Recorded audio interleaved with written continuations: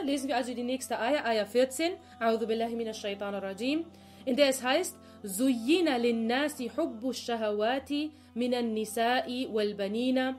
Ja, hier machen wir erstmal Stopp. Suyina linnasi. Für die Menschen wurde schön gemacht, wurde ausgeschmückt, zum Genuss gemacht. Suyina ist die Passivform. Das sieht man am Dhamma ganz am Anfang. Suyina wurde ausgeschmückt. Das heißt, hier steht nicht genau, wer denn der, äh, der Ausführer dieses, dieses Verbs ist. Ja, das steht hier nicht genau. Deswegen sehen wir gleich auch in Tafsir, gibt es zwei Meinungen, obwohl die eine stärker ist als die andere. Äh, Suyina kommt von Sei, Ja, Nun. Zain äh, gibt es auch als Wort. Ihr habt das Wort vielleicht schon mal gehört. Zainul Abidin. Das ist ein Name, auch Zain al-Abidin, der, der, also ein, ein äh, schmückender Name, wenn ihr so wollt. Zain ist Oppos äh, Gegenteil von Shana. Shana heißt etwas hässlich machen. Sana ist Gegenteil von Shana. Shana bedeutet etwas hässlich, etwas verunstalten. Etwas hässlich machen eben. Und Sana eben genau das Gegenteil, etwas schön machen, etwas schmücken, etwas ausschmücken. Ja? Äh, etwas so äh, verschönern, dass es im Auge oder Herz verankert. Dass es zum Genuss wird. Es anzusehen zum Beispiel. Oder wie ein Genuss aussieht. Und Sana, also dieses Ausschmücken, kann im physischen Sinne gemacht werden, also materiell, aber auch im äh, äh, unfassbaren Sinne auch gemacht werden. Wie zum Beispiel Allah sagt auch im Koran, wir haben den Himmel geschmückt mit Sternen. Das sind ja anfassbare Dinge, die können wir sehen. Genauso aber sagt Allah auch im Koran, dass wir haben den Iman in euren Herzen geschmückt. Das ist jetzt nicht etwas, was wir anfassen können, aber Allah spricht da auch als Schmuck, als etwas, was verschönert wird, ähm, was wir aber nicht äh, direkt mit den Sinnen so ähm, direkt äh, erfassen können. Also in beiden, äh, auf beiden Ebenen kann man etwas ausschmücken. In Tafsir heißt es auch, dass äh, Tazyin, also etwas ausschmücken, bedeutet Tahsin, etwas schön machen. Das haben wir jetzt schon verstanden. Tazyin ist also Tahsin. Und zwar von etwas, was Tahsin braucht. Tazyin ist Tahsin, also ausschmücken, ist etwas verschönern. Und zwar von etwas, was Verschönerung braucht. Weil wenn etwas schon schön ist, dann musst du es ja eigentlich nicht mehr besonders ausschmücken. Ja? Das, das kommt auch, das finde ich einen äh, wichtigen Gedanken in Tafsir auch von etwas, was Tahsin braucht. Und es bedeutet auch, dass man all das entfernt, was hässlich oder befleckend wäre. Also Tasin ist nicht nur, dass man Schönes drauf tut, sondern auch, dass man das, was verunstaltend, hässlich, befleckend wäre, dass man das auch hinwegnimmt. Jetzt stellt ihr, wir sind Frauen, ja, und wir wissen alle, was Schminke ist, auch wenn wir vielleicht nicht persönliche Erfahrung haben, aber jeder weiß, was das ist. Wie schminkt man sich denn? Man fängt ja nicht an auf dem ungewaschenen Gesicht, morgens früh aus dem Bett, äh, wie sagt man, gekommen und man hat noch den Schlaf in den Augen und dann pappt man sich die Schminke drauf. So macht man das ja nicht. Ja, man wäscht sich erst das Gesicht, wird alles los, was nicht dahin gehört und, und ja, man wird die, die Befleckungen erstmal los und dann tut man das drauf, was dann äh, äh den Rest noch äh, retten soll ja, den Rest noch irgendwie verschönern soll und den Rest noch irgendwie ansehnlich machen soll, in unserer eigenen Perspektive, obwohl Allah subhanahu die Menschen äh, in, äh, auf vollkommenste Art und Weise schon erschaffen hat. Ja, und diese Tazyin, die verdeckt somit auch das, was hässlich wäre äh, und verdeckt auch das, was vielleicht zum Beispiel schädlich wäre. Das ist auch interessant. Also Tazyin ist nicht nur etwas ausschmücken, sondern eben tiefer ein bisschen denken, auch das entfernen, was hässlich, befleckend wäre und auch bedeckt das, was hässlich ist. Zum Beispiel manche Sachen kannst du nicht entfernen, die sind halt da, dann bedeckst du sie halt. Ja, dann bedeckst du das, was hässlich ist oder auch ähm, äh, das, was zum Beispiel auch schädlich wäre.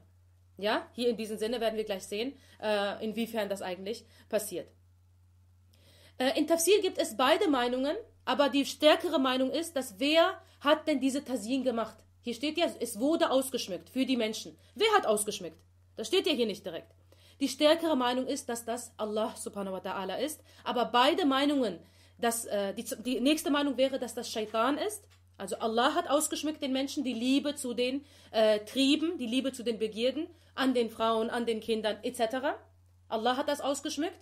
Und zwar, ja, das ist wahr, insofern, dass den Menschen in seine natürliche Veranlagung, in seine äh, natürlichen Instinkte gelegt wurde, dass er die Liebe dazu hat.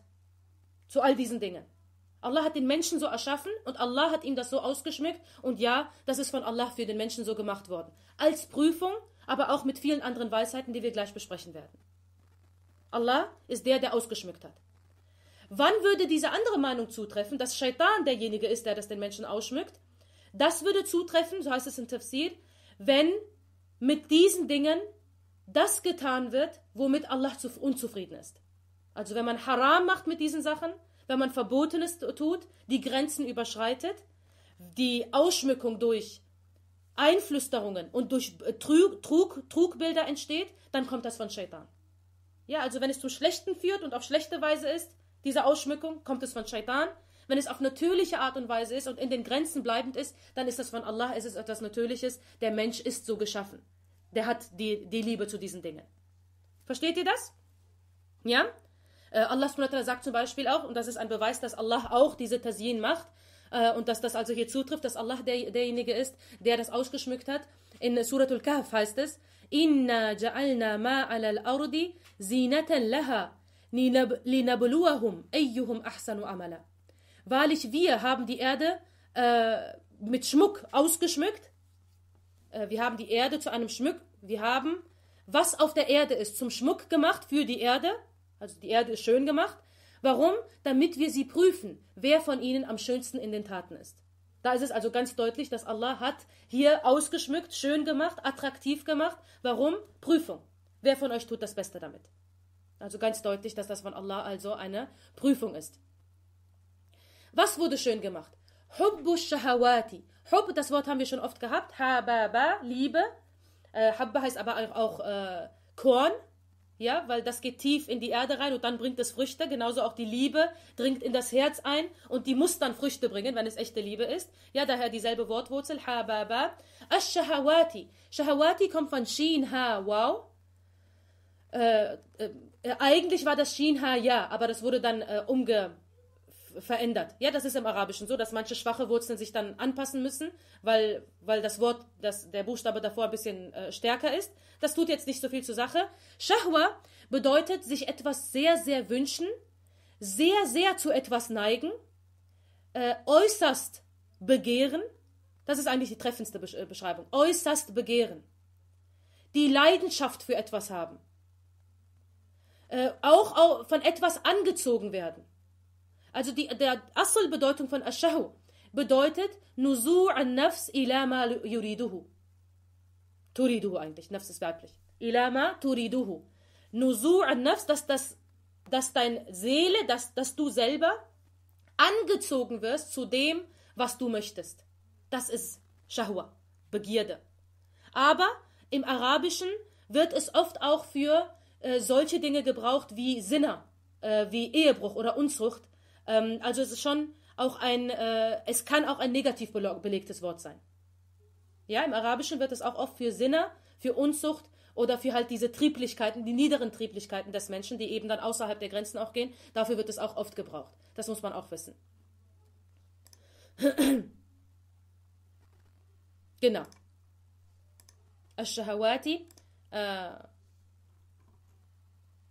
sehr zu etwas neigen, äh, Im Tafsir heißt es auch, dass äh, im Arabischen ist es so, dass wer mit dieser Eigenschaft beschrieben wird, dass dieser Mann folgt seiner Shahwa, das ist im Arabischen etwas sehr Negatives.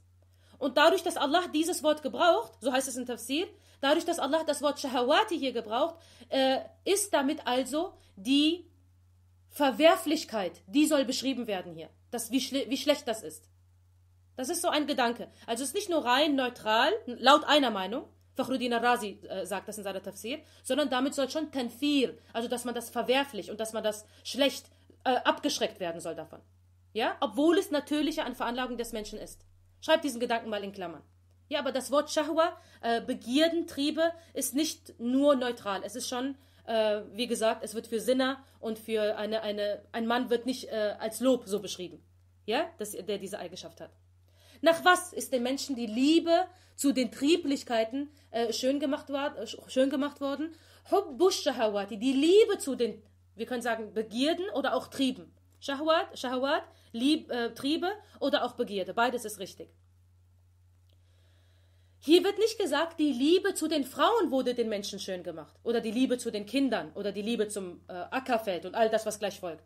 Das steht hier nicht. Sondern hier steht, schön gemacht, ausgeschmückt wurde die Liebe zu den Begierden nach den Frauen und den Kindern. Also die Liebe zu der Begierde ist schon schön gemacht. Ja, das ist also ein bisschen ein, ein tieferer Gedanke, da müssen wir ein bisschen einhalten. Also die Begierde selber, die Begierde, der Trieb, der Wunsch, dieses Attraktionsgefühl, das ist den Menschen schon lieb gemacht worden. Jetzt schaut mal, es kann ja sein, dass man etwas liebt, wie zum Beispiel etwas, was haram ist. Äh, Alkohol trinken. Ja? Man liebt das, aber man würde lieben, man würde wollen, dass man es nicht liebt. Ja, du kannst nichts dafür, Astaghfirullah, du liebst es, aber du wünschst dir, dass du nicht diese, diese Attraktion danach hättest. Okay? Dann gibt es aber, du liebst etwas und du liebst es auch zu lieben. Also du willst auch, dass du es liebst. Und das ist Kamalul Mahabba. Das ist die, die vollkommenste Art von Liebe. Ja, das ist die vollkommenste Art von Liebe. Wie man sagt, äh, kennt ihr bestimmt alle diese Figur äh, Leila und Majnun. Kennt ihr die beiden? Das sind so die arabischen Romeo und Julia. Und äh, über diesen Majnun, der wurde verrückt wegen der Liebe zu Leila, die wurde von ihm getrennt und ihr kennt die alten Geschichten, ja? Und da sagt er in einem Gedicht, dass, oh Gott, äh, trenne mich noch nicht mal von der Liebe zu Leila. Also geschweige denn, dass Leila von mir getrennt wird, trenne mich noch nicht mal von der Liebe, die ich zu Leila verspüre. Jetzt, ich zitiere das, damit ihr versteht, was hier gesagt wird. Dass den Menschen die Attraktion, dieser Genuss, diese Begierde, die er spürt, die ist ihm schon so lieb, geschweige denn, dass die Frauen, die Kinder, das Geld und die aufgehäuften Schätze, die ihm sind sowieso lieb. Aber die Liebe dazu ist ihm schon lieb. Also das ist eine extrem hohe Art von Liebe und Wollen und Begehren und von danach trachten. Damit soll ausgedrückt werden, wie sehr der Mensch darin verankert ist, diese Dinge zu wollen. Versteht ihr diesen Gedanken? Ja? Wie sehr der Mensch das äh, alles will. Ja, dieses Gefühl, diese Attraktion ist schon ein Genuss. Nicht die Sache selber, die sowieso. Aber die, das, der Genuss danach, der, äh, die, die, der Trieb danach, der ist auch schon ein Genuss. Subhanallah. Dass er die Liebe dazu auch schon liebt. Und das ist jetzt erstmal neutral. Wenn das für Gutes ist, wenn man die Liebe zu etwas Gutem liebt, dann ist das, mashallah, dann ist das äußerst, äh, das Äußerste an, an äh, Glückseligkeit. Dann erreicht man viel Gutes. Schlecht wird es nur, wenn es zum Schlechten führt. Ja? Wenn man zu etwas Liebe hat und das auch noch genießt und man will das auch gar nicht loswerden, was eigentlich schlecht ist, dann wird es zum Problem. Ja, dann ist es, in Tafsir heißt es, wenn es zum Schlechten ist, dann kann es so sein wie in dieser Eier. Dass man aufpassen muss, dass es zu einer Prüfung wird und dass man sich da äh, auf der Hut sein muss. Dass es nicht zu dem führt, was einem selber schadet.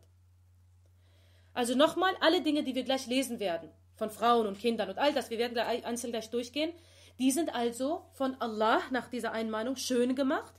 Der Mensch ist so erschaffen.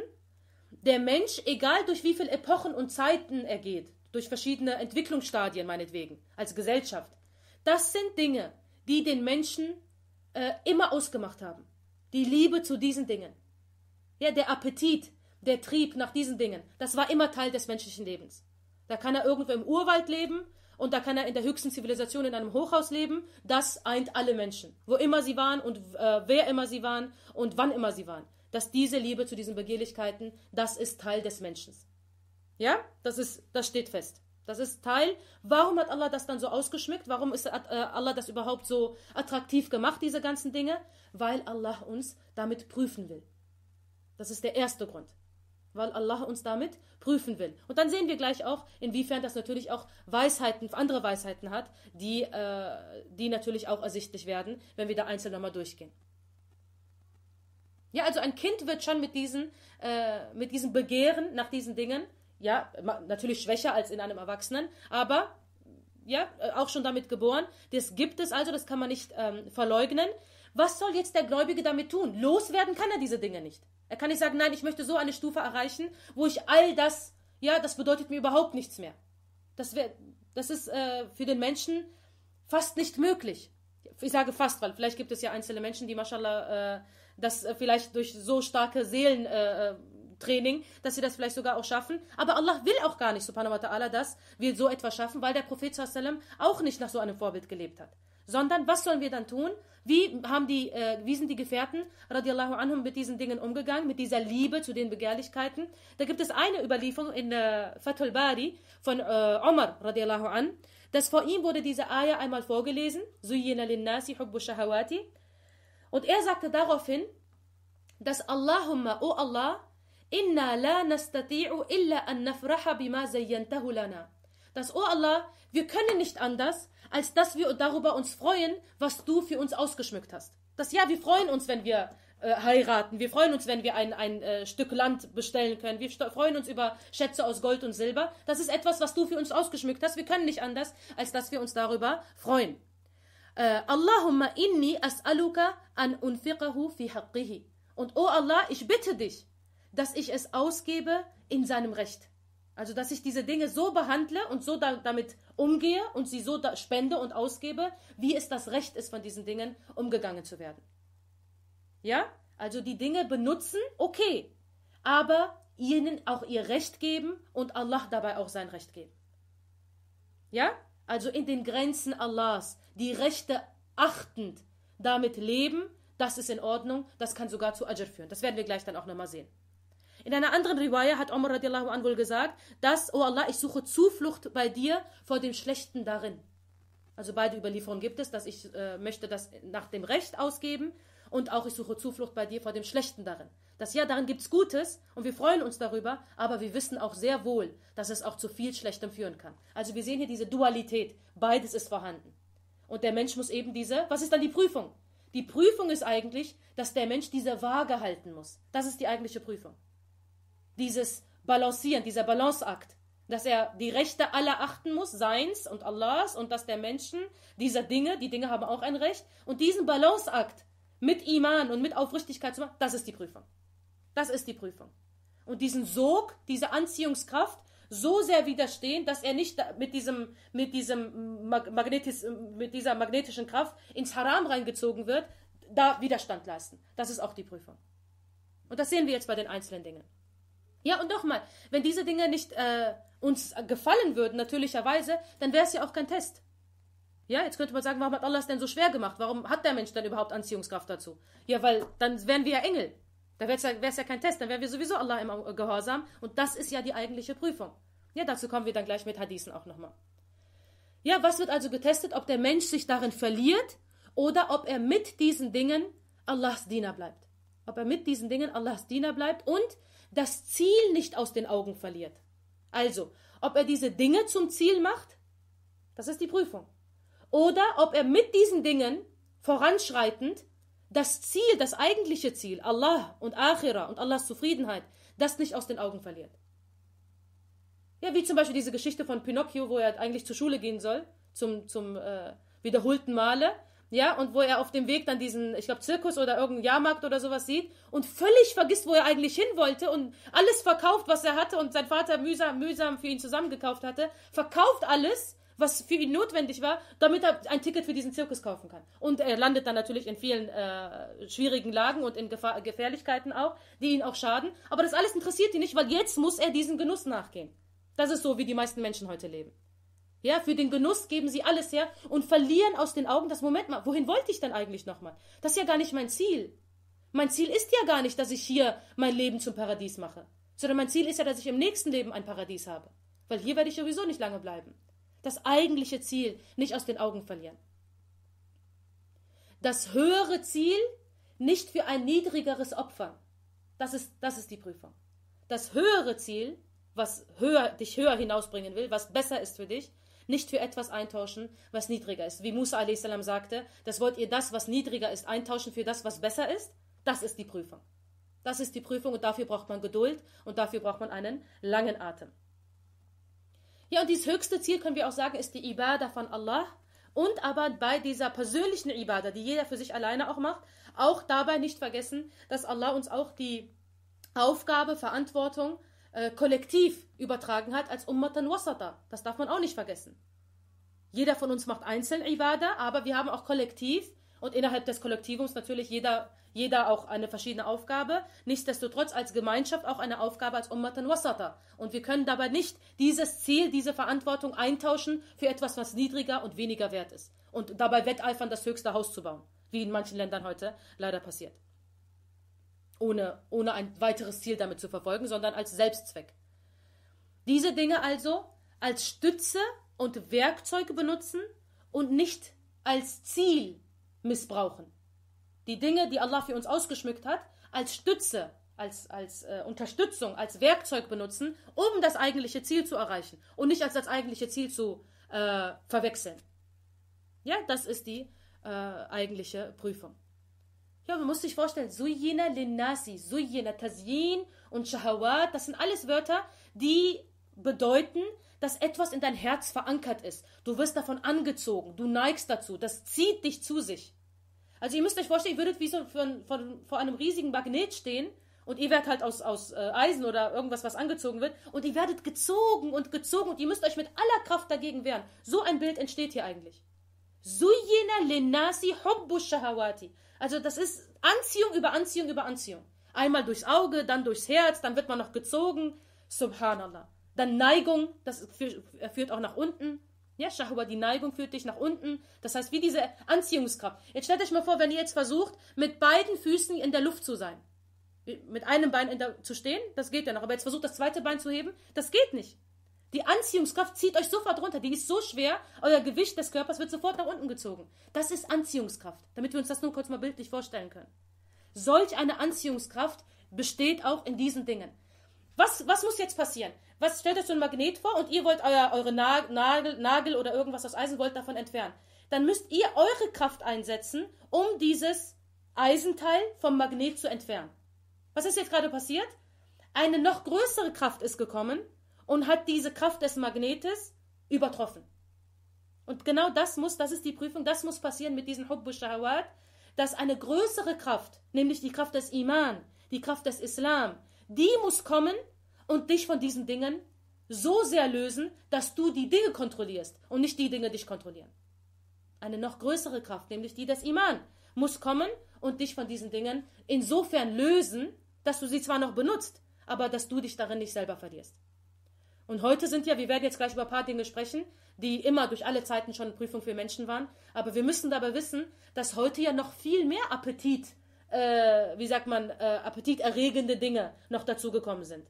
Von PC, von äh, Internet, von äh, äh, Medien, die es in so, auf, so einer, auf so einer großen, in so einer großen Masse und auf so einer großen äh, Art und Weise wirklich noch nie gab. Dann ähm, äh, äh, Videogames, diese äh, Computerspiele, für Jungs vor allem, Riesenproblem. Äh, Sucht, das ist Suchtverhalten, ganz deutliches Suchtverhalten, was da bei manchen schon zu sehen ist. Und das, das geben die, die Industrie selber gibt auch zu, dass ja, unsere Spiele machen süchtig. Wir machen die extra so, damit die süchtig machen, weil wir wollen mehr verkaufen. Ja, wie, wie äh, programmieren die extra so, dass sie besonders viel Adrenalin ausschütten bei, und bei den jungen Leuten, weil wir wissen, dann kaufen sie immer mehr, weil sie immer wieder diesen Kick brauchen. Das ist geplant so, das ist nicht aus Versehen so geworden. Äh, die, die Videospielindustrie ist eine der bestverdienendsten Industrien auf der Welt, nach der Pornografieindustrie. Das muss man sich mal vorstellen, was damit an Geld gemacht wird, äh, äh, an, an, dem, äh, an dem Zertrümmern der Seelen, ich kann es nicht anders ausdrücken, an dem Zertrümmern der Seelen äh, unserer Jugend und nicht nur Jugend. Ich habe letztens eine Statistik gesehen, das Durchschnittsalter von Computerspielsüchtigen, und meistens sind das Männer, Allah möge unsere Söhne bewahren, unsere Töchter auch, äh, meistens, ist 35. Durchschnittsalter. Ja, und also alle Mütter, die jetzt die Hoffnung haben, dass mein Kind spielt nur jetzt äh, und sobald es groß ist, wird das nicht mehr so sein, vergisst diese Hoffnung, schmeißt das Ding aus dem Fenster, das gehört jetzt echt nicht zu Tafsir, aber ich muss das, äh, ich muss meine Schwestern warnen, schmeißt die Konsole und am besten, was immer dazu gehört, schmeißt es aus dem Fenster im hohen Bogen vor eurem Sohn, damit es weiß, dass so wie ich dir nicht Zigaretten erlauben würde, erlaube ich dir auch nicht diese Art von Sucht. Ja, aber das ist auch eine Art von Sucht. Und meiner Meinung nach sind Zigaretten sogar nicht so sehr gefährlich, weil sie nur den Körper betreffen, als wie Computerspiele, die das Seele und das Herz komplett, komplett unbrauchbar lassen. Ja, und gebt das bitte auch anders an anderen Schwestern weiter, weil äh, das kann nicht sein, dass wir über Gebet reden und unsere Kinder bei, bei Ha und Cha und äh, Tajweed äh, korrigieren, während sie drei Stunden vor so einem, vor so einem Shaitan-Spielzeug äh, sitzen, das ihre Seelen konsumiert. Da ist doch irgendwas nicht in Ordnung mit uns. Ganz ehrlich. Ja, also weiter mit Tafsir. Das musste ich jetzt loswerden. Ja, das heute gibt es wirklich viele, viele andere Dinge, die noch dazugekommen sind, die eine solche Attraktion ausüben äh, auf die Seelen, dass sie wirklich komplett jede Kontrolle, Kontrolle verlieren. Ähm, man könnte jetzt auch in diesem äh, Zuge auch Facebook erwähnen. Ähm, ja, oder andere Dinge, die einen äh, immer wieder anziehen und wo man sehr viel Zeit mit äh, verbringt, ähm, so dass man andere Dinge dafür schon äh, opfert. Ja, das sind all die Dinge, dass, auch wenn du nicht mit denen bist, äh, irgendwo anders bist, aber du denkst ganze Zeit daran. Ja, wir haben ja gesagt, die Liebe dazu ist schon, ist schon ausgeschmückt. Also nicht nur die Dinge selber, sondern die Liebe dazu. Das heißt, du sitzt und denkst auch dran und genießt es daran zu denken. So sehr ist die Anziehungskraft davon.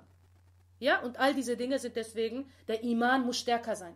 Der Iman muss stärker sein als, die, als all die Anziehungskraft von diesen Dingen. Und das erste, was genannt wird, sind Hubbu Shahawati minan Nisa'i, von den Frauen. Nisa sind erwachsene Frauen, also Nisa wird gesagt für eine äh, Frau nach der Pubertät. Von den Frauen, die Frauen werden also als erstes genannt. Äh, und ich glaube, das war durch alle Zeiten bestimmt so, dass die Frauen eine äh, Attraktion für die Männer dargestellt haben, die mit nichts anderem zu vergleichen waren. Und wer jetzt sagt, nein, wir sind doch heute so modern und das war früher in diesem, äh, wie sagt man, äh, Patriarchen, wo die Männer so, so äh, die, die Macht, Allmacht hatten in der Gesellschaft, dann frage ich mich, warum man heute ein Joghurt oder ein Auto verkaufen muss und dabei eine fast unbegleitete Frau daneben stellen muss wenn das nicht stimmt.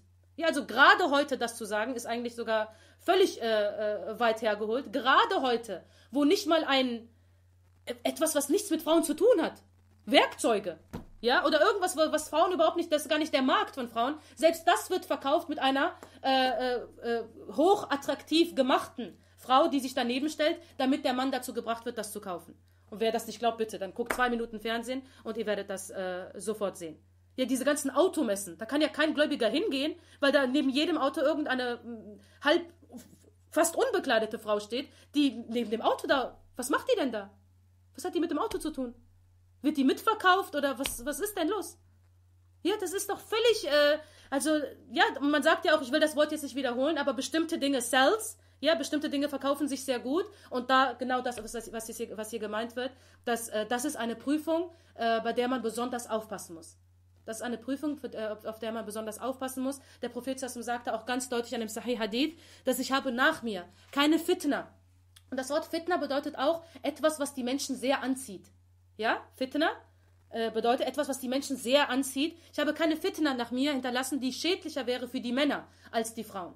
Und wie wahr ist das? Wie wahr ist das, dass ein Mann, der erwachsen ist, seriös ist, der äh, beruflich erfolgreich ist, also man würde sagen, das ist jemand, der hat äh, der hat Macht über sich selber, der weiß, wo es lang geht. Äh, der kann wegen einer Frau so benebelt werden, dass er seine Familie, seine Kinder, sein Haus manchmal sogar opfert und mit dieser anderen Frau ähm, Billah, äh, Dinge tut, die äh, Allah ihm verboten hat. Und das passiert auf der ganzen Welt. Nicht nur in äh, äh nicht-islamischen Ländern. Das müssen wir uns auch leider ähm, äh, sagen lassen. Das passiert auch in unseren äh, Ländern. Je mehr diese Kultur reinkommt in den Ländern von Schamlosigkeit und von ähm, ja, Grenzenlosigkeit, desto mehr kommen auch diese Probleme auf. Ja, und das ist gewiss etwas, was eine große Prüfung ist, was dich sehr zum Haram führen kann. Andererseits sagt der Prophet Sassam natürlich aber auch, und da fangen wir wieder an mit dieser Dualität, das sind alles Dinge, die können dir sehr viel Gutes bringen, wenn du sie in den Grenzen Allahs gebrauchst. Sie können aber auch zu deinem Verderben führen, wenn du die Grenzen Allahs eben übertrittst. Wo ist, was kann dich da wieder retten? Der Iman. Ja, das ist eben wieder wichtig. Andererseits sagt der Prophet Sassam aber auch, dass die Dunya ist eine Nutznießung. Und die beste Nutznießung in dieser Dunya ist eine rechtschaffene Frau. Subhanallah.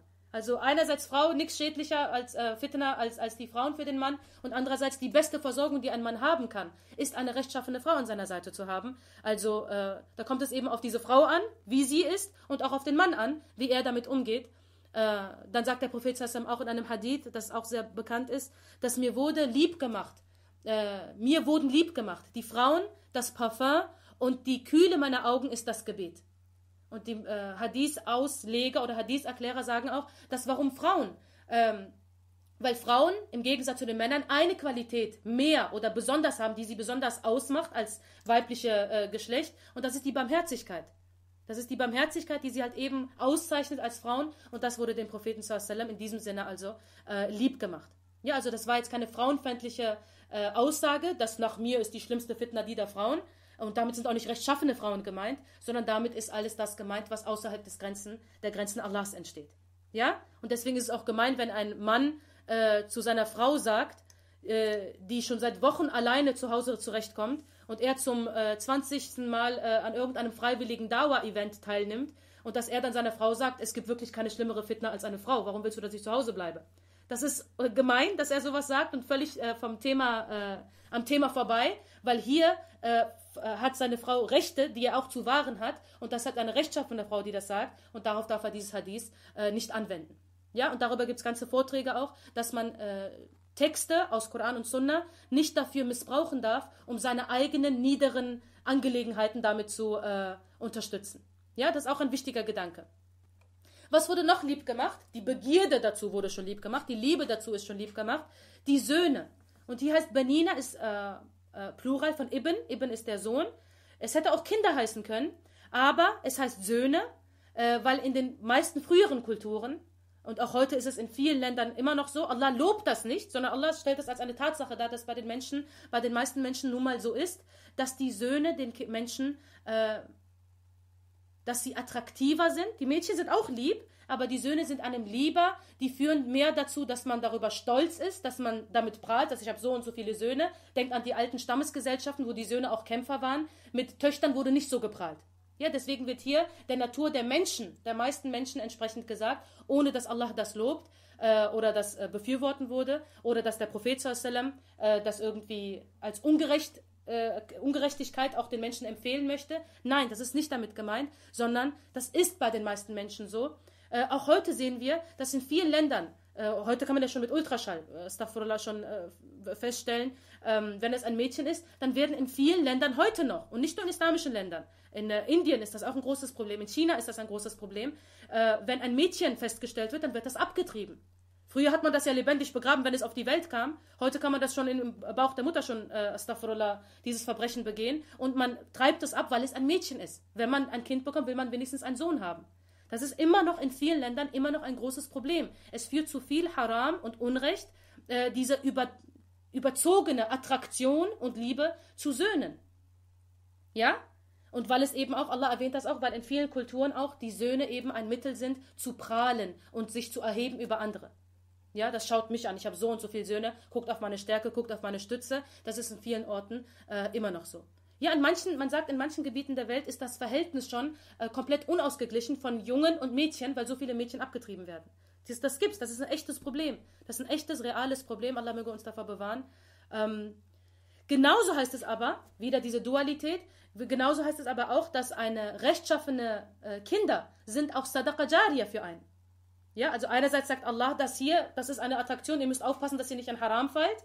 Äh, in vielen Gebieten zum Beispiel auch Frauen machen jede Art von Schirk, billah, damit sie Söhne bekommen.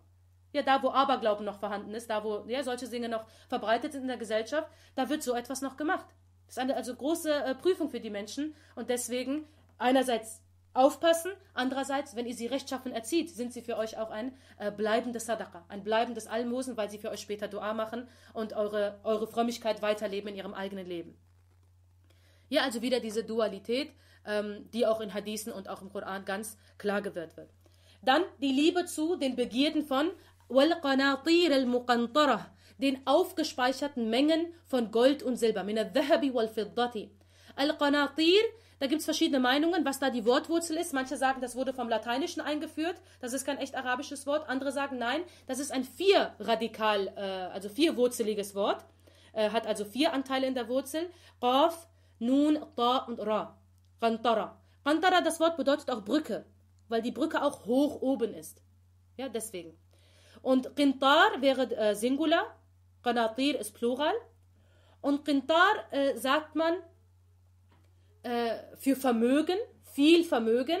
Ähm, es gibt verschiedene Angaben, was die Mengenangabe äh, an, an, angeht. Manche sagen, es sind im heutigen Verhältnis wären es 100 Kilo von Gold zum Beispiel. 100 Kilogramm an Gold, was ja schon viel ist. Manche sagen auch, nein, das sind Auqiya, das ist eine andere Maßeinheit. Da gibt es in Tafsir verschiedene Mengen. Fakt ist, Qanatir und Qintar ist richtig viel Vermögen. Und Muqantara bedeutet, wenn eins über das andere aufgehäuft wird.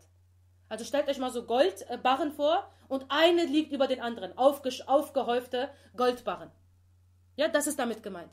Aufgespeichert, gehäuft, auf einen Haufen liegend, äh, in die Höhe reichend, äh, Vermögen, aufgeschichtet nämlich min al-Dhahabi wal-Fidda. Dhahabi kommt von Dhal Haba und das Wort Dhahaba heißt ja eigentlich auch gehen oder weggehen. Ja, und das gibt eben diese ursprüngliche Natur von Gold eben wieder. Das Gold bleibt nicht bei dir. Gold geht auch weg. Entweder verlässt du das Gold oder das Gold verlässt dich. Das ist dieselbe Wortwurzel. Dhahab wa dhahaba. Dieselbe Wortwurzel. Genauso Fidda. Fidda kommt von Fa, Dat. Und äh, Fadda, das Verb, bedeutet wenn etwas, ähm, wenn etwas, äh, fängt ja auch mit Fa an, ne? Wir haben gesagt, alle, die meisten Verben mit Fa, die haben so die Bedeutung von weggehen oder abspalten oder abgehen. Ja? Wenn etwas auseinandergeht. Das ist immer so die Bedeutung mit den Wörtern mit Fa, wie Falaq, wie äh, Fajr, wie äh, Fasada, wie Fasaqa. Haben wir schon oft gesagt. Das fängt ja auch mit Fa an. Das bedeutet auch äh, abgehen, abspalten. Und das bedeutet etwas zerbrechen und es dann auseinander machen. Und als Beispiel wird in den Wörterbüchern gegeben, wenn man ein Siegel zerbricht von einem Brief. Denkt mal an die alten Arten von Briefe mit diesen roten Siegel drauf. Dann zerbricht man das und dann geht das ja kaputt und fällt auseinander. Das ist Fadda. Ja? Und das Wort Fidda, Silber, kommt von dieser Wortwurzel. Das ist, wird auch auseinandergehen und weggehen und verteilt werden unter deinen Erben. Es wird nicht immer bei dir bleiben. Ja, das wird ja nicht in dieser Masse genau so für dich bleiben, außer du gibst es auf Allahs Weg. Dann ja, dann wird es für dich bleiben, subhanallah. Ja, also, also selbst die, dieser Kafir verteilt das ja auch schon zu deinen Lebzeiten. Subhanallah. Also Qanatir al-Muqantara wird gesagt zur Verstärkung aufgehäufte, aufgespeicherte Mengen von Gold und Silber. Das ist den Menschen auch in allen Zeiten immer schon lieb gewesen, lieb, äh, lieb gemacht worden. Äh, ja, der, der Wunsch danach. Jetzt kann der Wunsch danach natürlich einerseits sein, damit man sich, äh, damit man, weil man hochmütig ist, weil man sich damit, äh, weil man damit prahlen will, weil man damit die anderen als niedrig zeigen will, weil man andere damit erniedrigen will. Und das ist sehr oft in der Geschichte passiert. Das Mächtigere, und Macht ist nun mal, dass du mehr äh, Vermögen hast und mehr Güter hast, damit ist meistens Macht auch verbunden, dass du damit die Armen und die Schwachen ausbeutest. Das passiert nur allzu oft. Dann ist es, äh, dann hast du die Prüfung nicht bestanden. Dann hast du die Prüfung nicht bestanden. Dann ist es etwas Schlechtes für dich. Es kann aber auch sein, dass du Besitz haben möchtest und auch gerne viel Besitz haben möchtest, weil du damit deine Familie versorgen willst, weil du unabhängig sein willst, du willst keinen bitten müssen und weil du damit Gutes tun willst du willst Arme unterstützen, du willst auf gutem Wege spenden, dann ist es gut für dich. Also der Besitz selber ist nicht das Problem, sondern wieder wo ist, wo ist der eigentliche Test? Dein Umgang damit. Dein Umgang mit diesen Dingen. Ja, also auch diese, äh, äh, diese Meinung, dass jetzt Besitz oder weltlicher Besitz jetzt irgendwie negativ behaftet wäre, sich darin zu verlieren, ist negativ behaftet. Ja? Und nur noch dafür zu leben und äh, ja, nur noch dafür zu denken und nur noch das als Sorge zu haben, das ist negativ behaftet. Aber es zu haben und auch dafür zu arbeiten und dabei Allah sein Recht zu geben und der Familie das Recht zu geben und auch dem Besitz dein Recht zu geben, durch Zakah geben, das ist etwas, was auch die Sahaba schon gemacht haben und was wir auch äh, bestimmt nicht als schlecht bezeichnen würden. Nichtsdestotrotz gibt es viele Hadithe, die uns auch davor warnen, dass wenn ihr diesem Appetit, diesem, diesem Trieb nach Besitz äh, hinterherlauft, dann seid gewarnt, dass das ist ein Appetit, der nie gestillt werden kann. Das ist ein Appetit. Also denkt nicht, okay, wenn ich jetzt noch ein bisschen mehr habe, dann bin ich satt, dann will ich nicht mehr, dann kann ich ausruhen. Oder dann habe ich endlich mehr Zeit für meine Familie. Oder dann kann ich endlich meine Gebete zur richtigen Zeit machen. Nein, dieser, dieser Appetit wird nie gesättigt werden. Das ist etwas, was der Mensch, der Mensch muss selber sagen, stopp, jetzt reicht's. Ja, aber der Appetit wird nie. Warum der Prophet Sassam sagt, dass der Sohn Adams, wenn er ein Tal von Gold hätte, würde er nicht ruhen, bis er ein zweites Teil von Gold hätte. Und so weiter. Und nichts füllt den Mund des Sohnes Adams, außer der Staub seines Grabes. Das ist etwas, was der Sohn Adams, das ist ihm, äh, so ist er erschaffen. Deswegen ist seine Prüfung, dass er selber sagt, stopp, jetzt habe ich, äh, ja, jetzt, wenn Allah mir mehr gibt, dann Alhamdulillah, aber für mich ist das jetzt äh, etwas, wofür ich dankbar sein kann und ich muss auch wirklich den anderen, äh, Allah und auch meiner Familie und so weiter, ihr Recht geben. Subhanallah. Und auch mit dem Alter, das ist auch etwas. Mit dem Alter wird das auch nicht schwächer. Jetzt, wie viele alte Leute gibt es, die sagen, nein, nehmt mir alles schon mal, ich brauche nichts mehr. Ich esse doch sowieso nur noch, äh, wie sagt man, wenig und ich schlafe sowieso schlecht. Ja, denn, keine, im Gegenteil, es gibt viele Alte, die sogar noch geiziger werden. Allah möge uns bewahren, man weiß nicht, wie man selber im Alter wird. Also das kann man oft in Familien auch beobachten, dass die älteren Leute sogar noch geiziger werden und Sachen verstecken. Anfangen Sachen zu verstecken, weil sie wissen, meine Zeit ist nah und die Leute wollen mir das vielleicht jetzt schon wegnehmen. Die entwickeln schon sogar manchmal schon an, fast an Krankheiten. Allah bewahre uns und Allah bewahre uns vor so einem... Ähm, kläglichen wirklich äh, Ende. Allah möge uns ein gutes Ende geben. Aber das sind Dinge, die auch mit dem Alter nicht unbedingt schwächer werden. Es sei denn, du hast sie auch schon in deiner Jugend angefangen zu, wie sagt man, weich zu machen und, und weich zu kneten. Ja, und so, so flexibel zu machen, damit du in, in Kontrolle bist und nicht diese Dinge dich kontrollieren. Andererseits sagt der Prophet sallam, aber auch in Ahmed ist eine Überlieferung, dass ni'mal malu salih li salih. Das wie vorzüglich ist das rechtschaffene Besitz für den rechtschaffenen Mann. Also wie gut ist es, wenn jemand rechtschaffen ist und dabei auch Halal äh, Besitz hat und das dann auf guten Wegen ausgibt. Das ist auch sehr gut. Wir haben von Uthman gehört, wir haben von Abdurrahman bin Auf gehört und vielen anderen Sahaba, die mashallah so viel Gutes getan haben, dass manchmal sogar Früchte trägt bis heute. Womit? Mit ihrem Besitz. Ja, und auch heute noch Moscheen, die gebaut werden oder viele Dinge, die äh, Muslime benötigen für, ihre, für ihren islamischen Alltag, wird von Leuten gegeben, die eben äh, die Mittel haben, das zu unterstützen. Ja, also das ist nicht etwas, was verwerflich ist. Verwerflich ist das der Umgang damit, äh, wenn er schlecht ist. Und auch die Begierde, die Liebe zu den Begierden nach was? Nach den äh, gebrandmarkten Pferden. Khayl musawwamati. Wo habe ich das? Das Wort Khayl kommt von Kha, Ya, Lam. Kha, Ya, Lam. Äh, und Khayl ist äh, kollektiv, also Pferde. Kollektiv, für, für die Pferde allgemein. Also Plural, Singular, alles kann da reinfallen. Und Khayl oder äh, Khiyal kommt auch im Arabischen, bedeutet eine Einbildung, ein Gedanke, den du im Kopf siehst, ein Gedanken haben, etwas meinen, äh, sich etwas einbilden. Ja? Und äh, Khuyala zum Beispiel ist auch die Einbildung und Khayl, das Pferd, jetzt denk mal, wenn der Pferd, wenn das Pferd so eine bestimmte Art hat zu stolzieren. Ja, manchmal sieht man das bei, bei äh, Wettkämpfen wenn, oder bei, auch bei Paraden, wenn die bei der Armee sind. Diese springende Art äh, zu, ähm, so äh, bei, bei der Parade so zu, zu gehen. Eine sehr ähm, stolze Art zu gehen. Das, der Kopf hoch erhoben und so springend. Ja, die stellen sich damit wirklich zur Schau. Ja, und da, daher kommt eben dieses Einbildung auch. Derjenige, der eingebildet ist, der stellt sich ja auch etwas vor und geht dann auch dem, dementsprechend versteift und hoch erhobener Nase, ja, weil er sich einbildet, etwas zu sein, was er aber eigentlich nicht ist. Ja, da ist die, da, da ist die Verbindung zwischen diesen Wörtern. Chayil ist für Pferd, Kollektiven für Pferd, aber die Wortwurzel bedeutet einbilden. Und wenn du die Dinge einbildest über dich selber, dann kann es eben sein, dass du äh, stolz bist, stolz bist über etwas, was gar nicht vorhanden ist und dementsprechend dich auch bewegst und dementsprechend dich auch benimmst, obwohl da keine Wahrheit dahinter ist. Ja, und darüber muss man gar nicht äh, sagen. Musawwamati ist für gebrandmarkt, aber manche Mufassirin sagen auch, damit sind die besonders schönen Pferde gemeint die ein, äh, wie sagt man, bestimmte Art von Gesicht haben und, und äh, bestimmte Art von Füßen haben, das ein Zeichen ist für besonders gute und edle Pferde. Aber Musawwama bedeutet schon ein Zeichen machen, wie man zum Beispiel diese Brandzeichen macht auf, auf Tiere, auf Vieh, damit gekennzeichnet ist, dass das ein, wessen Besitz das ist, oder auch welche äh, besondere edle Art von Pferd das ist. Ja? Musawwama kommt von Sin, Wow, Mim. Äh, Saum bedeutet eben Zeichen machen, wie zum Beispiel Brandzeichen.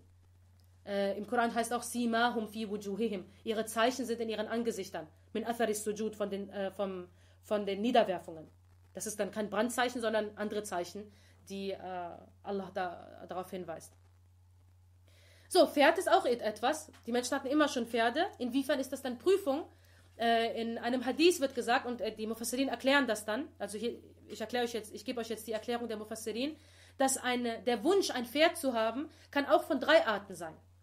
Entweder willst du damit äh, äh, auf Allahs Weg arbeiten, dich fortbewegen können und für Allahs Weg einsetzen, dann wird es eine Belohnung für dich sein.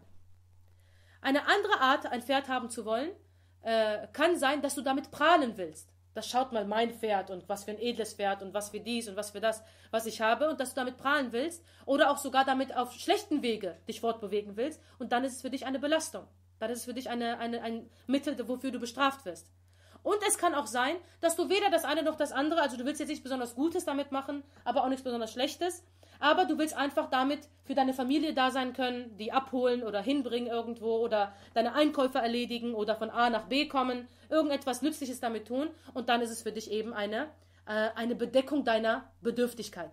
So heißt es im Hadith. Ja, dann bedeckt es eben das, du musst keinen fragen, du musst nicht sagen, kannst du mir bitte was mitbringen, weil ich habe kein Pferd, sondern du kannst selber, du bist unabhängig und somit bedeckt es deine, äh, deine Not. Ja, in, in den Hadith heißt es, dass für einen ist sein Reittier eine Last, Wizard, für den anderen ist es Ajr, Belohnung, und für den anderen ist es Satar. Für den anderen ist es eine Bedeckung. So ungefähr heißt es im Hadith. Ja, das sind also schöne Pferde, die gebrandmarkt sind, die können eben auch jeweils für denjenigen, der sie gebraucht. Und ihr könnt das auch auf Autos über, übertragen. Markenautos, ja, gebrandmarkt mit ihren Zeichen vorne, was auch immer, äh, je teurer, desto äh, mehr wert ist die Marke dann auch, die eben ihren Fahrer auch eben ihre Not erfüllen können oder eben fi sabilillah eingesetzt werden können, indem man mit ihnen Gutes tut, anderen hilft, zur Unterstützung dient und für den Islam irgendwo da ist, oder eben sogar äh, eine Belastung für dich sein, weil du Schlechtes damit tust. Wal an'ami wal harth und die Liebe zu den Begierden auch zum Vieh. An'am kommt, kommt von Nun, ein Mim. Äh, Na'am heißt eigentlich, eigentlich äh, Kamel. Äh, besonders für rote Kamele wird das auch benutzt. Rote Kamele waren sehr, sehr wertvoll bei den Arabern. Und da, dann ist daraus eben das Wort für Vieh allgemein. Die Tiere, die du zu Hause, also domestizierte Tiere, die du zu Hause hältst, für, äh, ja, meistens für einen Ertrag. Ob das jetzt die Wolle von denen ist oder die Milch von denen oder das Fleisch oder die, was auch immer. Das Vieh ist den Menschen auch die Liebe zu der Begierde zum Vieh, die Liebe die, zu der Liebe dazu, ist den Menschen schon schön gemacht worden. Und das ist auch etwas, äh, Viehbesitzer waren immer schon diejenigen, die unabhängig waren, die auch sehr reich sein können, je nachdem, in welchem Größenverhältnis sie das haben. Das ist auch etwas, was immer schon bei den Menschen so war und auch heute noch und wahrscheinlich immer so bleiben wird, weil nur Vieh bestimmte Dinge den Menschen äh, geben kann. Ja, Fleisch kannst du nicht anders besorgen, kannst du nicht in der Fabrik herstellen, obwohl die es heute schon äh, alles versuchen, das auch äh, zu tun. Aber irgendwo brauchst du äh, trotzdem tierische Anteile dafür. Genauso auch äh, Wolle oder ja, bestimmte Dinge, die kannst du nur vom Vieh bekommen und die wird der Mensch immer haben wollen. Ja, die wird der Mensch, der, das Bedürfnis danach wird der Mensch äh, immer haben. Genauso Wal Harth und die Saatfelder. Harth sind die Saatfelder, das Ackerland und das muss man auch nicht, äh, glaube ich, erklären. Bodenbesitz äh, war immer schon etwas, was, ich meine, der, das, der ganze Adel, was, ist, was sind denn Adlige? Das sind Boden, Landbesitzer. Sonst wären sie ja nie Adlige geworden. Die haben irgendwann im Mittelalter vom König haben die Ländereien bekommen und auf einmal waren sie reicher als alle anderen. Ja, wegen irgendetwas, was sie getan hatten, weil sie Ritter waren oder warum auch immer. Und auf einmal waren sie reicher als alle anderen und auf einmal musste jeder für sie arbeiten. Auf ihrem Land. Ja, also Landbesitz ist das, was, äh, was, was äh, eigentlich Reichtum ist. Also entweder äh, Schätze oder Landbesitz. Das ist doch das, was den Menschen äh, wirklichen Reichtum äh, verleitet. Und nach all diesen Genüssen und äh, Begehrlichkeiten und allem, was, was dem Menschen gefällt, äh, erwähnt Allah dann äh, das, was diese Dinge in Wirklichkeit sind, subhanallah. Also erstmal wurde uns das schön gemacht und jetzt wird so der Schleier gehoben und gesagt, das schaut mal, das ist die Wahrheit von diesen Dingen. Ihr könnt sie nutzen, aber passt auf. All das ist die Nutznießung für das Leben dieser Welt. Was ist Mata? Mata bedeutet Nutzen auf Zeit. Nutzen auf Zeit. Wenn, wenn ich jemand etwas gebe, auf Zeit, damit er es benutzen kann. Das würde Mata heißen. Zum Beispiel Möbel im Haus werden auch Mata genannt. Ja, Möbel im Haus, die benutzt man ja. Zum Beispiel jetzt, äh, wenn ich jetzt Schmuck habe, ja, dann, äh, das kann ich ja vererben. Das benutzt man jetzt nicht in dem Sinne wie ein Stuhl oder ein Tisch. Das wird nicht so abgenutzt. Ja? Aber jetzt Möbel zum Beispiel, Möbel sind Mata, sind Nutzen auf Zeit. Oder auch diese ganzen Dinge, die man so für das Leben so braucht. Kleider, Versorgung, das ist alles Mata. Und das Wort Mata hat, beträgt auch in sich die Bedeutung von Genuss. Also Nutzen, aber auch Genuss ist auch schon da. Und das alles aber auf Zeit. Das wurde euch alles auf eine kurze Zeit gegeben, als Prüfung, und das ist nur für das Leben dieser Welt. Ihr könnt es nur mitnehmen, wenn ihr es in Form von äh, Gehorsam und in Form von guter Tat vorausschickt. Ansonsten wird es hier bleiben, ihr werdet es verlassen oder die Dinge werden euch verlassen. Subhanallah. Der Prophet Sassam sagt auch in Sahih Muslim, dass. Dass das Paradies ist umgeben, also wer zum Paradies will, muss da durchgehen. Das Paradies ist umgeben von den verabscheuten Dingen was schwer ist für den Menschen, was schwer ist für dein Ego, was schwer ist für deine, für deine Triebe. Und das Feuer, das Höllenfeuer, ist von den Shahawat, von den Begierden und Trieben äh, umgeben. Subhanallah. Subhanallah. Ja, aber wir wissen auch, der Prophet sagt auch, dass Allah den Weg zum Paradies denen leicht macht, die ausziehen auf seinem Weg, Wissen zu erwerben. Allah möge uns alle zu denen gehören lassen. Ja, also all diese Dinge wurden uns nur kurz gegeben. Die sind nicht für immer da. Wir sollen uns die nicht in denen so verlieren, als ob es kein Morgen gäbe, als ob es kein Erwachen gäbe, als ob es kein Zurückkehren gäbe, sondern man soll sie so benutzen, wofür sie auch gedacht sind. Man soll sie in dem Sinne, in den Grenzen benutzen, wofür sie auch gedacht sind, wie äh, äh, Rumi sagt in einem Gedicht wohl, dass das Wasser ist so lange gut, solange es unterm Boot ist. Dann ist es gut und nützlich, weil sonst kann das Boot ja auch nicht schwimmen. Wenn kein Wasser unterm Boot ist, wenn du nicht verheiratet bist, du hast keine Kinder, du hast keinen äh, Landbesitz, du, du hast keine Schätze, du hast keine Versorgung, kannst du auch nicht leben. Du brauchst diese Dinge, damit das, dieses, diese, diese, äh, dieses Boot deines Lebens, damit das schwimmen kann. Aber wenn das Wasser in das Boot reinkommt, dann ist Vernichtung. Ja, das Wasser ist gut, solange es unterm Boot ist. Dunja ist okay, solange es unterm Boot ist, nicht in deinem Herzen. Wenn es aber in dein Herz reinkommt und du auf einmal dich selber darin verlierst, dann haben wir ein Problem. Dann geht man darin unter. Dann geht man darin unter. ذلك متاع الحياة الدنيا والله عنده حسن المآب und bei Allah bei ihm und Allah bei ihm ist ja die schönste Heimkehr Husnu schön gut und Ma'ab von Ob äh, Heimkehr, zu etwas zurückkehren. Subhanallah, wo man eigentlich hingehört. Was heißt denn Heimkehr? Heimkehr heißt ja nicht ein Reiseziel oder ein Touristenort, sondern da, wo man eigentlich hingehört. Man kehrt zurück, man kehrt heim. Ja, zu ihm ist die eigentliche schönste Heimkehr. Subhanallah.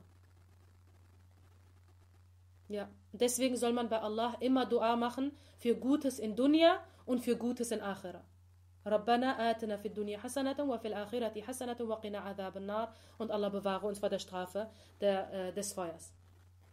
Subhanallah. Qul, sprich, أُنَبِّئُكُمْ بِخَيْرٍ مِّن ذَلِكُمْ Und das ist auch eine sehr schöne Art und Weise. Der Prophet sallam soll uns hier fragen. Das soll ich euch berichten, soll ich euch sagen, soll ich euch Kunde geben über etwas, was besser ist als all dies? O ihr? Also er überlässt quasi uns, das wollt ihr wissen, dass es noch etwas anderes, Besseres gibt? Also jetzt wurde eben gesagt, dass nein, das sind Dinge, die ziehen euch an. Das ist wie ein Magnetfeld. Das ist etwas, was äh, jeder Mensch immer schon gemocht hat. Ihr müsst aufpassen, das ist Prüfung. Und jetzt heißt auf einmal, das löst euch. Soll ich euch etwas sagen, was noch viel besser ist?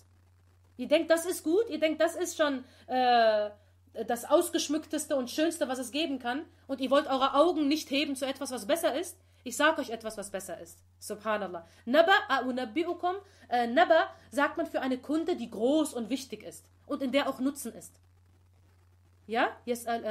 Amma yatasa'alun anin naba'il azim. Nach der großen Kunde. Ja, Naba a'unabbi'ukum. Der Nabi ist auch von dieser Wortwurzel. Der Prophet. Der gibt Kunde und zwar eine große, wichtige, in der auch Nutzen ist. A'unabbi'ukum. Soll ich euch berichten? Soll ich euch verkünden? Soll ich euch Kunde geben von etwas Großem? Was? Was ist besser als all dies? Was ist mit all dies gemeint? Diese Hubbu Shahawat. Diese ganzen Begierlichkeiten, die wir gerade besprochen haben, wollt ihr wissen? Nämlich was? لِلَّذِينَ اتَّقَوْا عِنْدَ رَبِّهِمْ جَنَّاتٌ تَجْرِي مِنْ تَحْتِهَا الْأَنْهَارُ Das für diejenigen, die Taqwa hatten, die gottesfürchtig waren, die auf Allahs Zufriedenheit und Unzufriedenheit achteten, sich hüteten vor Allahs Unzufriedenheit, für sie wird bei ihrem Herrn, das wird als erstes erwähnt, für sie ist bei ihrem Herrn, Lilladin, als erstes für sie, wird als erstes erwähnt. Dann als zweites direkt bei ihrem Herrn. Was wird bei ihrem Herrn für sie sein? Jannatun tajri min tahtiha al-anhar. Gärten, nicht ein Garten. Gärten, unter denen die Flüsse fließen. Subhanallah. Darin werden sie ewig bleiben. Khalidina fiha. Also nicht auf kurze Zeit. Man weiß nie, wann man wieder weg muss. Nicht auf kurze Zeit und ähm, auf so eine Art und Weise, dass man 30% Genuss hat, aber auch 70% Probleme. So ist das doch, oder? Kennt, kennt ihr eine Beziehung zu irgendetwas, zu irgendeinem Menschen oder zu irgendeiner Sache, in der nur Genuss und Gutes ist? In dieser Dunja gibt es das nicht. Sobald du Schätze hast, hast du auch 50% Sorge, dass sie dir keiner wegnimmt.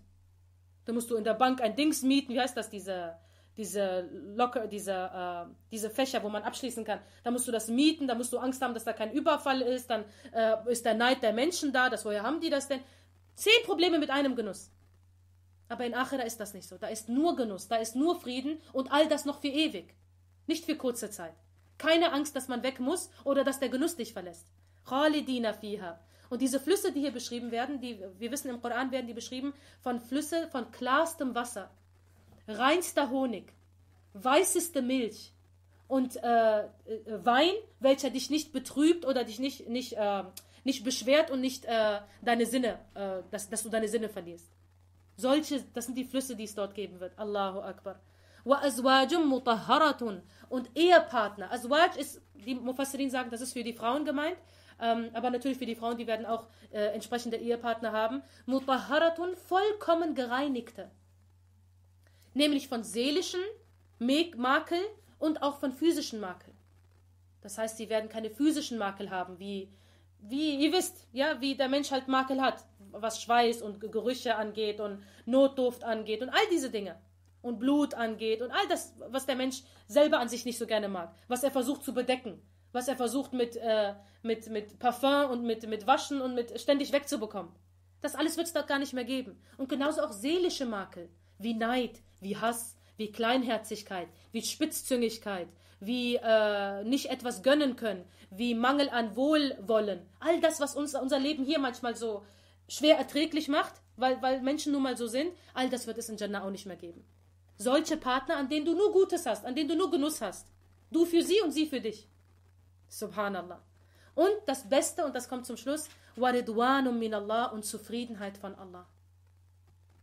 Aber das wird einem dort nur gegeben werden, wenn es hier schon auch für einen wichtig war. Wenn hier einem schon wichtig war, dass ich möchte, dass Allah mit mir zufrieden ist, deswegen achte ich darauf, wie ich mit diesen Dingen umgehe, mit Frauen, mit Kindern, mit all das, was Allah mir gegeben hat. Deswegen achte ich auf Allahs Zufriedenheit, der wird dann auch im Jenseits Ridwan von Allah bekommen. Das Wort Ridwan kommt von Radat, ja, wenn wir sagen Radiyallahu anhu. Das ist dieselbe Wortwurzel. Möge Allah mit ihm zufrieden sein. Ridwan ist die Zufriedenheit. Dass Allah Wohlgefallen findet. Dass er das, äh, dass er, äh, dass ihm gefällt, wie man ist. Ridwan, subhanallah. Wallahu basirun bil ibad und Allah ist allsehend über seine Diener. Subhanallah. Jetzt zählt mal durch. Ich glaube, einerseits sind sieben oder acht Dinge genannt. Frauen, Kinder, äh, Begehrlichkeiten, Ackerfeld, Vieh und all diese Dinge. Ich glaube, sieben oder acht Dinge sind das. Und andererseits sind nur drei Dinge genannt. Jannatin, Azwaj Mutahara, Waridwan. Ja, aber schaut mal auf die Qualitätsunterschiede. Ja, also nicht Quantität, Qualität. Das ist, was eigentlich zählt. Und der Gläubige ist hier im Leben auch schon jemand, der der Qualität hinterhergeht, nicht der Quantität. Ja? Nicht der Quantität. Und je äh, unvernünftiger der Mensch ist, desto mehr läuft er der Qualität hinterher, der Quantität hinterher. Ist doch so. Für Kinder ist unglaublich wichtig immer, wie viel sie haben. Oder?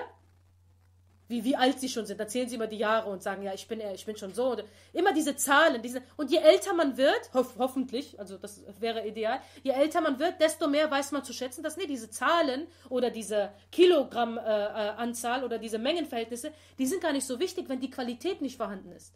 Die Qualität macht es eigentlich aus. Je vernünftiger man wird, desto mehr sagt man, nee, lieber auf Qualität achten. Auch wenn du weniger hast, aber dafür ist es sauber. Dafür ist es, kann es lange halten. Dafür ist es etwas, was, wovon ich lange Nutzen habe. Ja, aber der Unvernünftige, der kauft dann immer weiter, äh, äh, wie sagt man, Billigware. Warum? Weil er denkt, nee, ist doch viel, ist doch viel mehr. Aber eigentlich sind das nur leere Kalorien, die er zu sich nimmt. Ja, das ist doch diese, diese Qualität und Quantität. Hier sieht Allah einerseits so viele, erzählt Allah uns, äh, Attraktionen, für die Allah uns ähm, an, äh, wie sagt man, anfällig gemacht hat, aber andererseits sagt er, das schaut mal, ich sage euch auch jetzt schon, was besser für euch ist und das sind diese Dinge, die äh, sie in Qualität um so einiges äh, übertreffen. Subhanallah. Das Paradies wird im Koran auch beschrieben, dass walakum fiha ma tashtahi anfusukum. Das für euch wird im Paradies sein, was immer ihr begehrt. Da ist dasselbe Wort. Tashtahi. Eben wurde ja gesagt, äh, shahawati, die Liebe zu den Begierden, zu den Trieben. Und jetzt sagt der Mensch, ja gut, das ist jetzt mein Trieb, soll ich dem gar nicht nachgehen, immer kontrollieren, immer soll ich aufpassen. Und jetzt sagt Allah uns im Koran in einer anderen Ayah, dass keine Sorge, es kommt ein Ort, wo ihr alles bekommt, was ihr begehrt. Das Dahi anfusukum. Also das wird erfüllt werden. Das wird erfüllt werden, wenn ihr nur für kurze Zeit euch äh, mit Geduld und mit Zufriedenheit und mit Zurückhaltung übt. Subhanallah. Subhanallah. Ja, nicht auf den Weg verlieren. Schaut mal ein anderes Beispiel auch für dieses, dass man sich nicht auf dem Weg zum Ziel verliert. Denkt mal nochmal an die Geschichte von Talut und seinen Soldaten, wo er gesagt hatte, dass wir wollen jetzt dieser Armee begegnen. Da sind wir, auf diesem Ziel sind wir, weil wir wollen, dass Allah mit uns zufrieden ist. Auf dem Weg wird ein Fluss sein und von dem dürft ihr nur ein bisschen trinken. Ihr dürft trinken, aber nur ein bisschen. Aber wer sich voll trinkt damit, der wird nicht mehr weiter zum, zum Ziel kommen. Und genauso war es, Subhanallah. Wer sich von Dunya voll Wer, das, wer Dunja so viel haben will, dass er sich das hier schon zum Paradies macht und dabei keine Grenzen, kein Recht, keine Anständigkeit achtet, der wird zurückbleiben, der wird das Ziel nicht erreichen. Der wird ganz woanders landen. Und wer ein bisschen nimmt, so dass er satt ist, ihm geht's gut, er kann arbeiten, aber er hat das Ziel noch vor Augen, der darf dann weitergehen. Ja, versteht ihr das Gleichnis? Genauso heißt es auch, der Prophet äh, wurde mal gefragt, bei Ibn Majah ist ein Hadith, dass äh, ein Mann kam zum äh, Propheten sallallahu alaihi wasallam und sagte, Ja Rasulullah, äh, führe mich zu einer Tat, dass wenn ich sie tue, liebt mich Allah und die Menschen lieben mich auch. Also sag mir eine solche Tat, dass wenn ich die mache, alle lieben mich, Allah auch und die Menschen auch. Und der Prophet sallam sagte ihm, Izhad fi, dun, äh, dunya, also mach Zuhud in Dunya, also entsage der Welt. Aber nicht jetzt auf, auf eine Art wie ein Mönch entsagt, sondern so wie der Prophet sallam. Ja, so nach der Sunna des Gesandten sallam, das äh, Entsage der, der Dunya, Allah wird dich lieben und entsage dem, was bei den Menschen ist und die Menschen werden dich lieben. Subhanallah. Ja, ihr müsst euch vorstellen, das ist ja, das sind ja Attraktionen, man wird ja angezogen. Ja?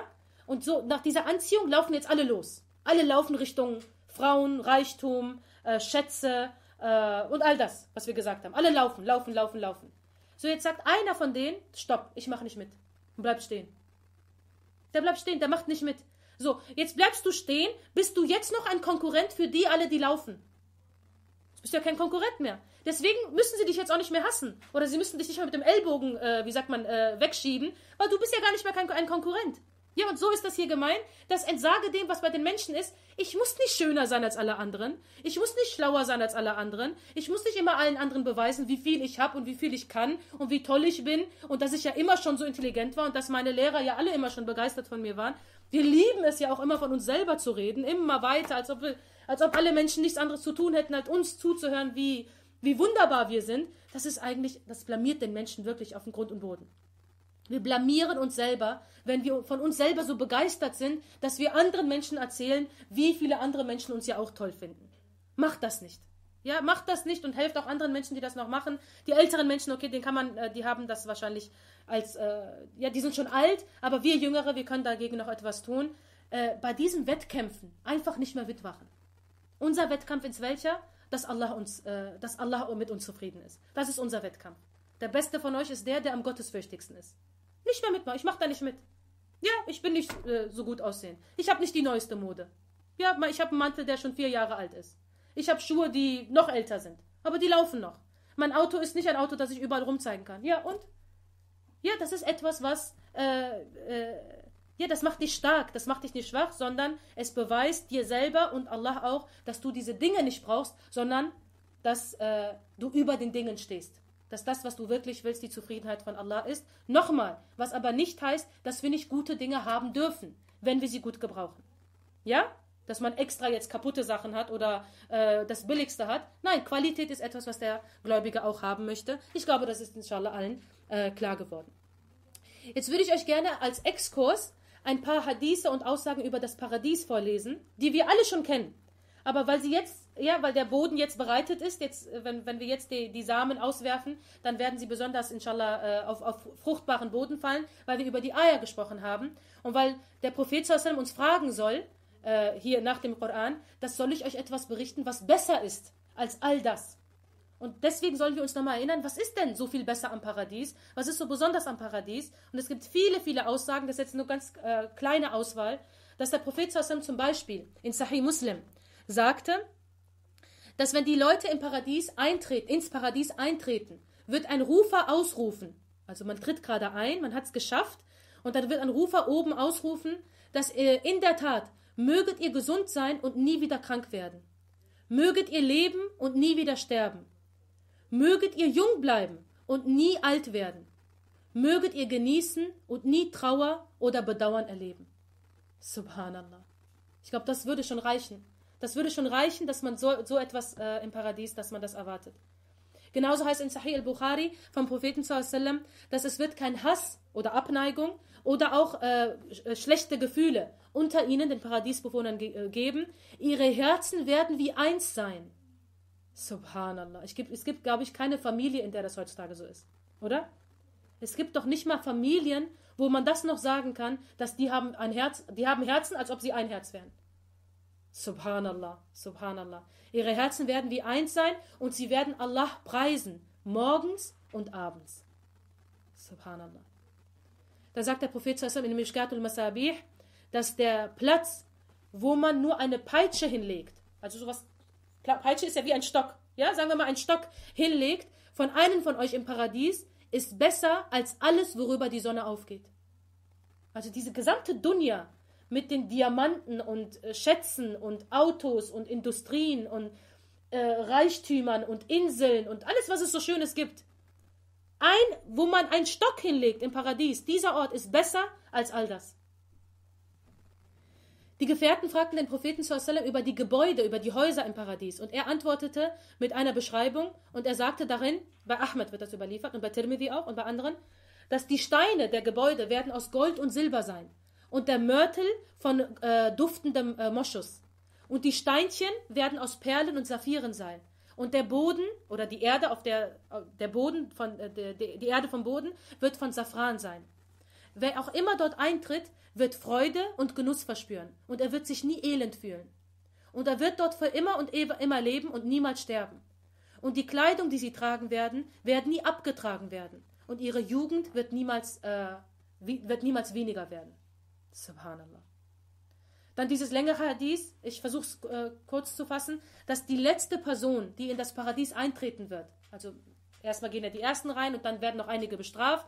Und jetzt kommt der Letzte, der das Höllenfeuer betritt, äh, Höllenfeuer verlässt und der darf als letztes ins Paradies ein. Der wird kriechend aus dem Höllenfeuer verbrannt und ja, elend aus dem Feuer herauskommen. Und wenn er einmal da vorbei ist, wird er sich umdrehen und sagen, äh, Preis sei dem, der mich davon bewahrt, davor bewahrt hat, vor dem Feuer. Also er dreht sich zum Feuer um und sagt, Gott sei Dank bin ich da raus. Und, ähm, und äh, wahrlich, Gott hat mir etwas gegeben, was er weder dem Ersten noch dem Letzten gegeben hat. Also er ist so dankbar, dass er sich so ausdrückt, als ob er das Beste bekommen hat, was, er, was es überhaupt gibt. Dann wird ein äh, Baum vor ihm wachsen und er wird sagen, oh mein Herr, bring mich näher zu diesem Baum, sodass ich darin äh, Zuflucht suche unter dem Schatten und von seinem Wasser trinke. Allah erhaben ist er und äh, äh, gepriesen und erhaben ist er, wird sagen, O Sohn Adams, wenn ich dir das gebe, gewähre, wirst du mich für nichts anderes mehr bitten? Und dieser Mensch wird sagen, nein, mein Herr, und ich werde, und er wird versprechen, dass er nichts anderes mehr danach bitten wird. Sein Herr wird ihm das äh, erlauben, gewähren, weil er sieht, dass er dieser Mensch keine Geduld hat, mit dem äh, zu widerstehen, was er dort gesehen hat. So wird er ihn näher bringen und er wird dort Zuflucht suchen und von seinem Wasser trinken. Dann wird ein anderer Baum, also äh, äh, erhoben werden vor ihm, der noch schöner ist als der erste. Und er wird sagen, oh mein Herr, bring mich näher zu diesem Baum, so dass ich von seinem Wasser trinke und Zuflucht suche in seinem Schatten.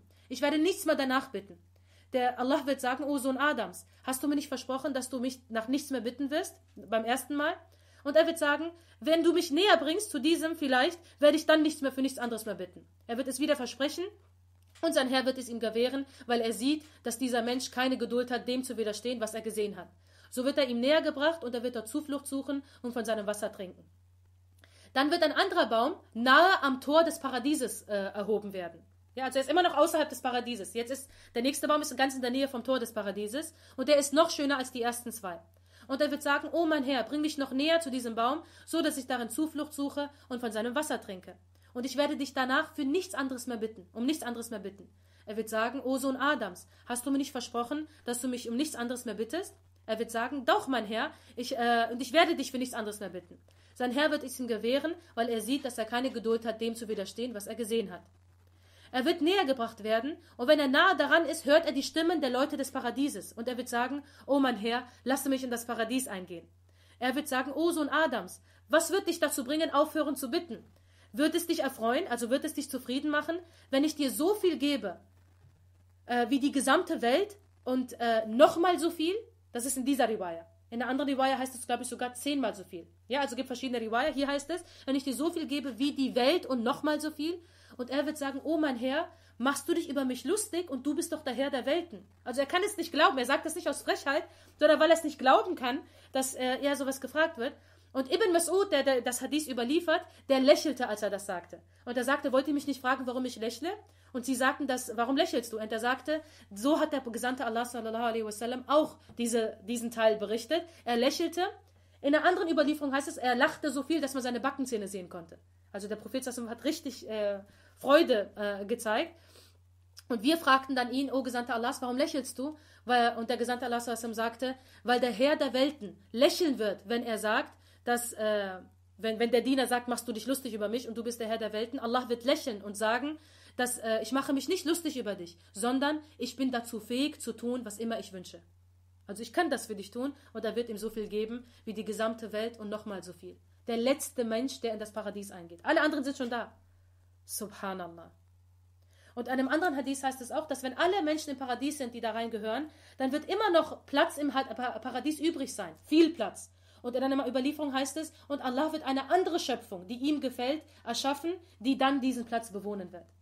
Subhanallah. Ja, also der, der sich Sorgen macht, dass wenn ich hier verzichte, nicht, dass ich dann nichts bekomme. Ja, der soll wissen, dass Allahs Schätze sind unermesslich. Allah kann geben, wem er will, wie viel er will, ohne zu berechnen. In einem anderen Hadith heißt es bei Bukhari, das war von Muslim, diese Überlieferung eben, die war von Sahih Muslim. In der nächsten Überlieferung von Sahih al-Bukhari heißt es, dass ein Mann wird Allah bitten im Paradies, dass er hat alles, was er will, äh, aber ich würde gerne Dinge, wie sagt man, äh, auf dem Acker bestellen. Weil er war vielleicht Bauer im Leben und er wird das gerne so haben. So wird ihm das erlaubt werden, wird ihm das gewährt werden und er wird ähm, Pflanzen sehen und im, im, äh, wenn, wenn ein Augen, äh, wie sagt man, wenn ein Augenblick also wenn er einmal so geblinzelt hat, wenn ein Augenblick vorbei ist, wird er schon wachsen sehen und ernten und auch, äh, wie sagt man, äh, auf, auf Berge aufgetürmt haben. Also die ganze Mühe ist weg. Er kann zwar wachsen lassen, aber ohne Mühe, sondern es wird ihm nur noch Freude bereiten. Was ist das das Schönste beim Ackerbau? Das Schönste ist ja die Ernte. Ja, also die ganze Mühe ist weg und er hat nur noch die Ernte. Subhanallah. Dann heißt es genauso auch bei Bukhari, dass Allah wird zu den Menschen des Paradieses sagen, O, äh, o Ahl al-Jannah, O Leute des Paradieses, und sie werden sagen, hier sind wir, unser Herr, äh, wa sa'adaik, äh, hier sind wir zu deinen Diensten und alles Gute ist ja in deiner Hand. Allah wird sagen, seid ihr zufrieden? Und sie werden antworten, warum sollten wir nicht zufrieden sein, wo du uns gegeben hast, was du noch keinem anderen deiner Schöpfung gegeben hast? Und er, Allah, wird sagen, soll ich euch nicht etwas geben, was noch besser ist? Und sie werden sagen, oh unser Herr, was könnte besser sein? Die sind wunschlos glücklich, die haben. Allah wird sagen, ich gewähre euch meine Zufriedenheit und ich werde ab jetzt, ich werde nun nie wieder mit euch unzufrieden sein. Subhanallah. Allah möge uns von diesen Menschen äh, sein lassen, die das von ihrem Herrn hören werden.